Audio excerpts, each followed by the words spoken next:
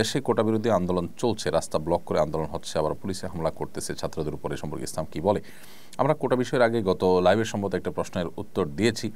আমরা বলেছি যে কোটার ব্যাপারে যদি একেবারে যৌক্তিক পর্যায়ে, যৌক্তিক পরিসরে কোটা থাকে, কোনো পঙ্গু, কোনো আপনার অসহায়, পিছিয়ে থাকা মানুষকে আগায় আনার জন্য অথবা বিশেষ কোনো অবদানের জন্য কোনো ব্যক্তির পুরস্কার স্বরূপ, তাহলে সেটা ইসলাম অ্যালাউ করে ওই পরিসরে। কিন্তু এর বাইরে আপনার কোটা যদি অযৌক্তিক হারে থাকে এবং সুবিধাবঞ্চিত মানুষদেরকে আগায় দেওয়ার এবং যারা কোনো ক্ষেত্রে অবদান রেখেছে, তাদেরকে কোনো সুবিধা দিতে গিয়ে জেনারেল পিপলকে যদি সুবিধা তাদের তুলনায় অনেক কম দেওয়া হয়। সামান্য কিছু মানুষের স্বার্থ রক্ষা করতে গিয়ে যদি মেজরিটি মানুষের স্বার্থ ক্ষুণ্ণ হয়, তাহলে সেটা অবশ্যই সেই দৃষ্টিকোণ থেকে বা কোনো বিবেচনাতে সেটা জায়জ হওয়ার কথা নয়। সো এই বিষয়টা নির্ভর করে যে আসলে রেশিওটা কি থাকছে, যৌক্তিক থাকছে নাকি অযৌক্তিক থাকতে বাকি বাকি মূল বিষয়টা নিষিদ্ধ নয়। এটি মৌলিকভাবে কোনো অপরাধ নয়। মেয়েদের কোটা বিষয়ে আমরা বলেছি বিভিন্ন সময় যে মেয়েদের আল্লাহ রব্বুল আলমের সৃষ্টি করেছেন, তারা একটা সংসারের আভ্যন্তরীণ দিকগুলো দেখবেন। আল্লাহ তালা তাদের শারীরিক কাঠামোটা তৈরি করেছেন সেভাবে।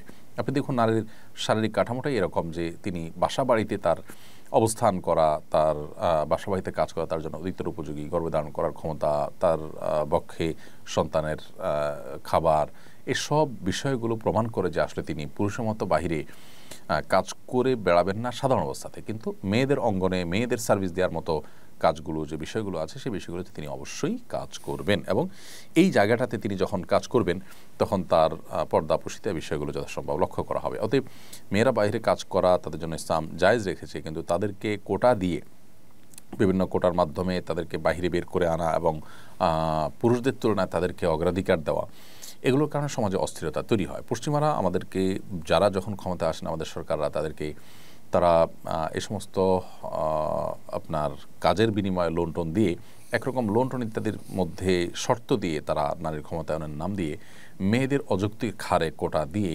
পুরুষদের কাজের পথগুলোকে তারা বন্ধ করে দিচ্ছেন।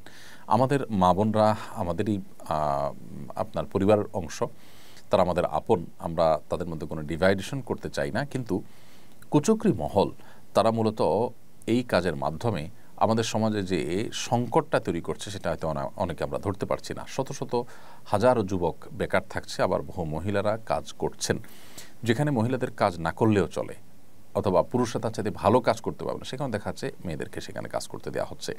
তো এই বিষয়গুলোর কারণে পুরুষদের মধ্যে বেকারত্ব তৈরি হচ্ছে, যার ফলে সন্ত্রাস, চাঁদাবাজি, মাদক এগুলোর পরিমাণ বেড়ে যাচ্ছে। যার কারণে এগুলোকে নিয়ন্ত্রণ করতে হলে এই অযৌক্তিক হারে যে কোটার আপনার বন্টন রয়েছে বা কোটা রয়েছে সেটিকে অবশ্যই সংশোধন বা সংস্কার করা প্রয়োজন আছে। বিশেষ করে আমি স্পেসিফিকলি এই জায়গাটায় বললাম নার্সিং পেশা সারা পৃথিবীতে মেয়েদের অগ্রাধিকার দেওয়া হয়।